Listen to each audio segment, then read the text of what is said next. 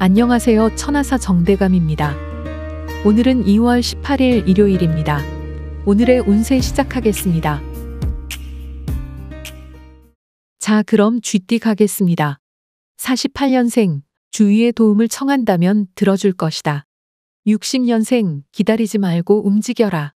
72년생, 경거망동하지 말라. 84년생, 어려운 시험에 합격한다. 다음은 소띠 가보겠습니다. 49년생 귀인이 찾아오니 반갑게 맞이하라.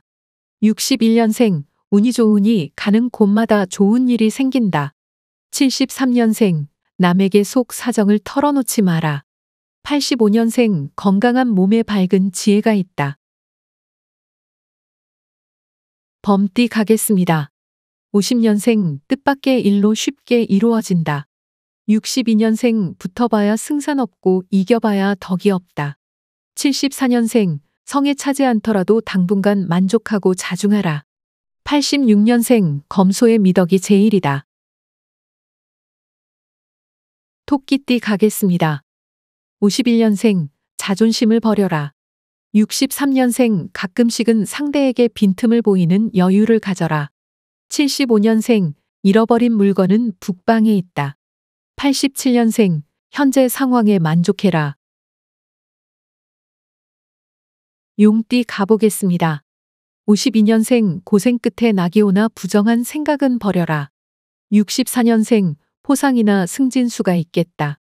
76년생 문서적으로 어려움을 겪게 되니 안타깝다. 88년생 지나친 욕심은 화를 부른다. 뱀띠 가겠습니다. 53년생 헛된 재물을 탐하지 말라. 65년생 작은 것이 쌓여 큰 것을 이루니 차근차근 성취하라. 77년생 오늘은 금주하는 게 좋다. 89년생 주변에 휩싸이지 말아라. 다음은 말띠입니다. 54년생 시비에 가담치 마라. 66년생 노력에 공전하고 손실이 있겠다. 78년생 약속을 했으면 꼭 지켜라. 90년생 여행은 나중으로 연기함이 좋겠다. 양띠 가겠습니다. 55년생 당신의 능력을 10분 발휘할 기회가 오고 있다. 67년생 작은 소망은 이루어진다. 79년생 100년 해로할 배필을 만난다. 91년생 취직이 되거나 시험에 합격한다.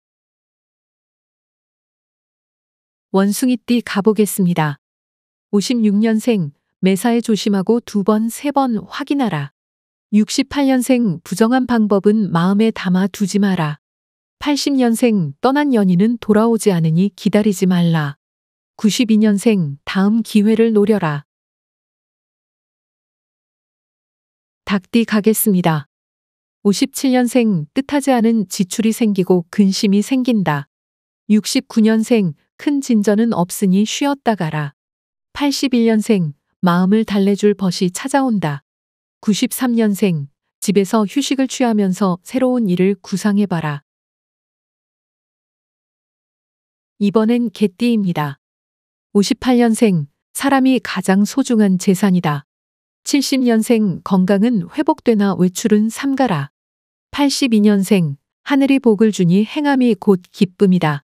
94년생 명성과 이익이 도처에 있다. 마지막으로 돼지띠입니다. 59년생 억지로 하려 말고 기다려라. 71년생 한 발짝씩 양보하여 화해함이 상책이다. 83년생 내 인생의 주인은 자신이니 소신껏 행동하라. 95년생 시기가 좋지 않으니 거래는 연기하라.